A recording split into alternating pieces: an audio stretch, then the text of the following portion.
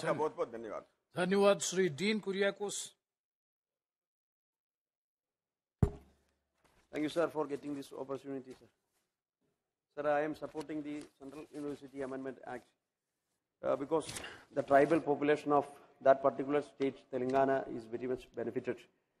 Sir, the Central University Act 2009 was a seminal legis- legislation of the UPA government that established 15 universities in a single go. So the objective of the parent act is to create autonomous centers of learning that will become centers of excellence in the due course. Sir, in, the, in that sense, in Kerala, we also got one central university that is at Kasargod. We also benefited that, sir. The statements of objects and reasons of the bill clearly state that the purpose of this bill is to increase access and quality of higher education and facilitate and promote higher education and research facilities for the people of the state. It will also promote the advanced knowledge by providing instructional and research facilities in tribal art, culture, and customs, and advancement in technology to the tribal population of India. Sir, the tribal population of India is the most marginalized and backward community in the India. Hence, studying their life, art, culture, and cust- customs are integral to ensuring inclusive development in our nation. Sir, this is true for the tribals for Kerala as well. Sir, for an inclusive development policy, the development of tribal community is the major agenda has to adopt. So only through education we can make sure that about the development of tribal community. Most of the tribal community people are traditionally living in, uh, in remote areas, mostly in inside forest. Sir, there is, uh, in my constituency also, there is a panchayat called Idamalakudi, which is situating 30 kilometers away from Munnar, that is inside Irivi- National Park.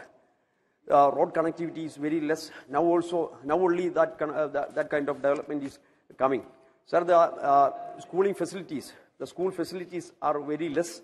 That's why I personally took initiative and uh, I channelized CSR fund through uh, Cochin Shipyard. Now a new school building is going to construct and uh, it will be full-fledged facility for schooling. Sir, uh, we noticed after schooling, the tribal people are not willing to join college education also, sir.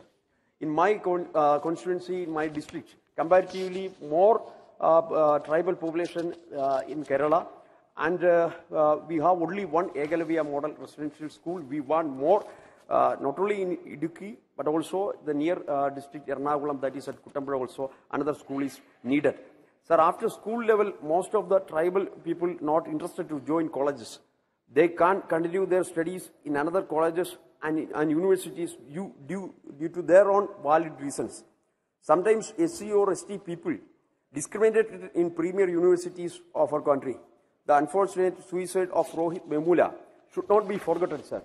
It is a matter of shame that a lot of tribal students are made to drop out from our top universities due to discrimination and hostility.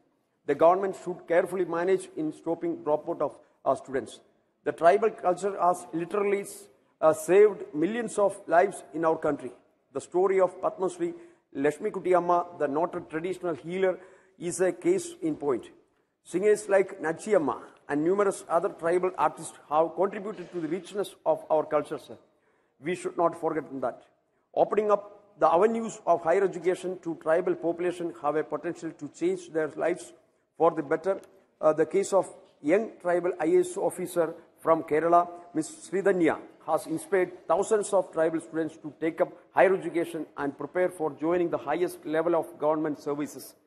So the overall development of tribal people of whole country, opening up a tribal university in every state should be a priority for this government, sir.